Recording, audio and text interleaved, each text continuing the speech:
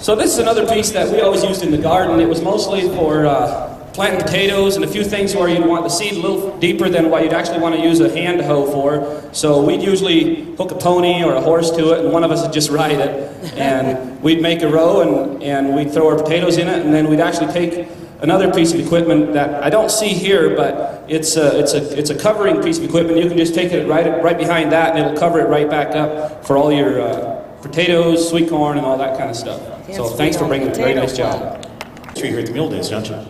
We do have a history. Um, tell me about what you got here.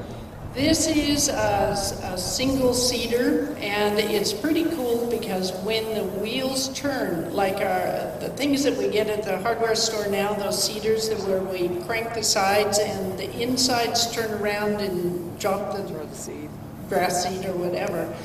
This is the same principle. When the wheels turn, there's a mechanism inside that rotates that has a hole, and your your corn or your peas drop through every so often as you roll along. It, the history that I can find on it is uh, used right around the turn of the century, so it's about 100 years old. Ladies and gentlemen, this is Jerry Mary and Crestline's Hot Dottie. Dottie's not a young mule. I believe she's been around.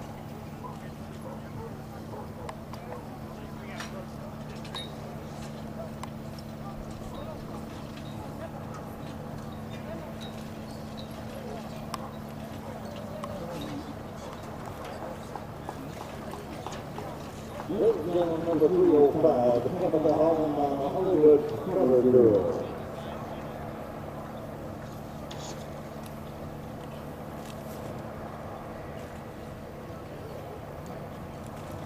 Ring, number 267, 267. Wilmore Dickinson on Hartley, Elizabeth Ball. 267.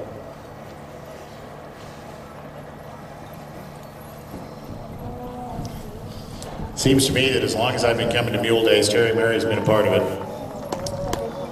Or maybe even a little bit longer, huh, Terry? You like that piece of equipment, huh? Yes, this is a very unique piece of equipment. It's actually called a ground-driven seeder. It's uh, you, you hardly ever see them that they work because a lot of times the inside gears rust out. But it looks to me this piece still works, and the times when we use it the most is when the ground was really hard and it was just a little bit too much work to do it by hand. So you just hook this here up, and you could just put pretty much anything in the seeder and plant your garden. So very nice job. Thank you. Cynthia has a uh, tobacco transplanter. Um, her grandfather and her father, uh, her father when he was a little boy, rode in the back uh, planting tobacco about 40 miles south of the Ohio border in Kentucky. Well, and how old is this? Old. Y'all notice that there, when, when she takes this through, about 100 years old, she says, when she takes this through, there are actually a couple of little seats in the very back. Plant and put it in the ground, and then a, a, a closer would close the dirt around the plant. Raymond wants to see these donkeys go to work. Ladies and gentlemen, this is Cynthia Schlom with Indiana Jane and Tickles. This is the lady with Yeah. the zebra. This woman has some neurological disorder that has just taken her speech away, and that's why she had a speaker phone.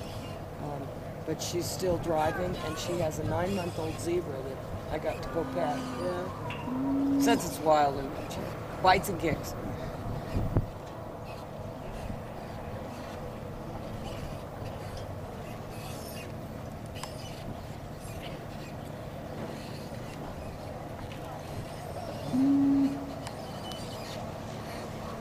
Not meant to go fast. Got you got to think that the, the guys in the back would be pulling. Is anybody else seeing a piece of equipment like this at work for the very first time? Yeah. Look at the steamroller wheel front.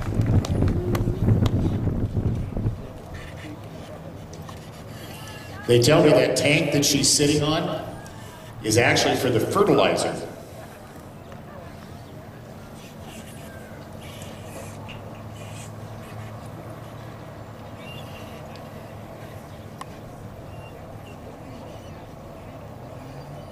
When you see her walk, you can see an impairment in her right leg as well, so the fact she's dry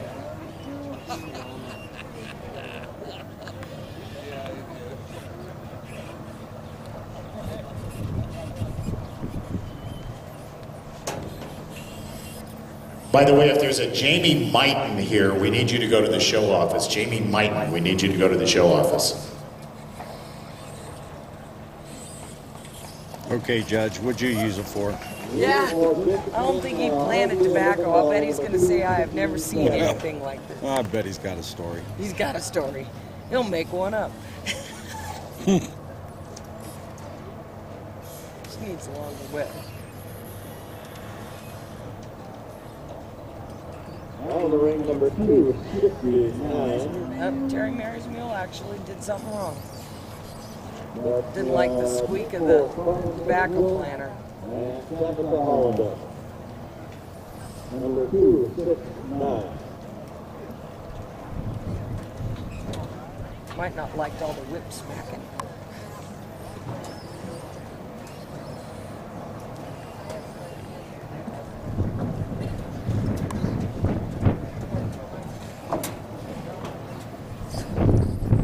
Cynthia Schlom, ladies and gentlemen. You have to do this. Ladies and gentlemen, this is Jessica Porter, uh, one of the youngest entries in this class. Um, tell me about this piece of equipment, Jessica. What do you got? This is a 621 1900 circa Oliver cultivator. Really? Where'd you find all that out? Dad. Dad's kind of handy to have around. Tell me what you told me yesterday about, about the importance of this whole family experience for you, and, and you've been coming to Mule Days as long as you can remember. Yeah, I've been coming for 14 years, so Wow. it's fun because you get to do a bunch of stuff with your family.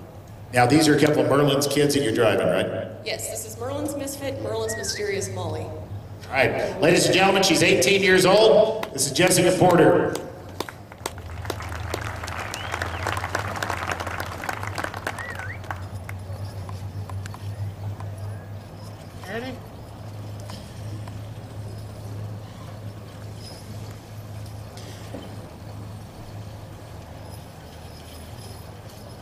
I'm told this is the first time she has driven this piece of equipment. Oh my.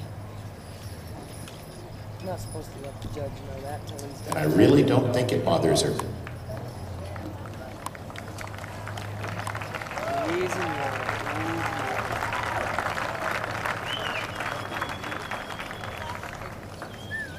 Eddie.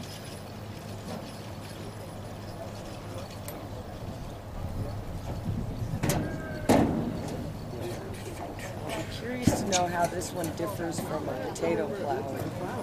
Looks like, well, she called it a cultivator. So, um, that's why I'm curious to hear what the judge has to say about it being different than a potato plow. Or if it is just different name. So this is what they call a one-row cultivator. You can use it for beans or corn or tobacco. Um, this is something that I spent a lot of hours on. We used it all summer long, and uh, I can tell you that when you use that for about six hours, your behind is very tired. However, it's still in very good working condition, and that's something that was very, very used back in the day. So great job, Jessica. Thank you.